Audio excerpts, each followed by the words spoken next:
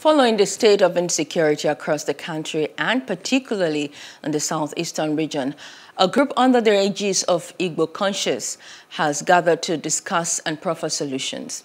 The members of the Igbo Conscience Group are calling on the federal government to declare a state of emergency in the region as well as the deployment of increased security. Plus TV Africa's Mercy Ebekbo tells us more.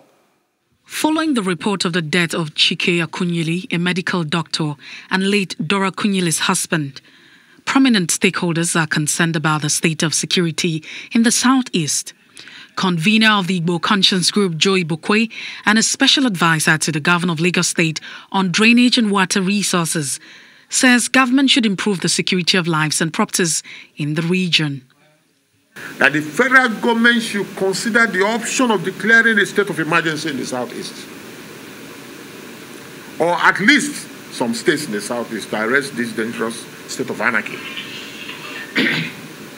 Number two, that the federal government draft more security forces and agencies to the southeast to save the people from themselves.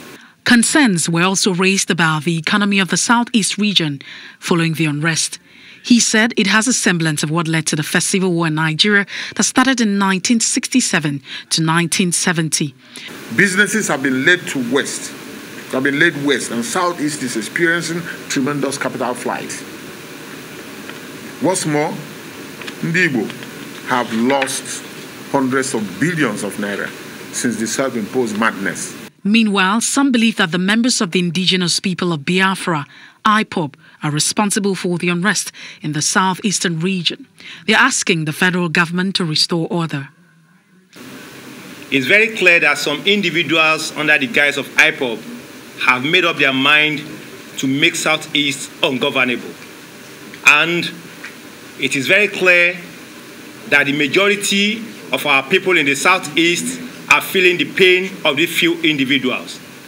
And hence, our call today should be taken very serious by the federal government. The Southeast region has been in the news recently with the reports of violence and killings, with the indigenous people of Biafra insisting on a seated home order for residents in honor of those they term heroes. Mercy Ebokbo for Plus TV Africa.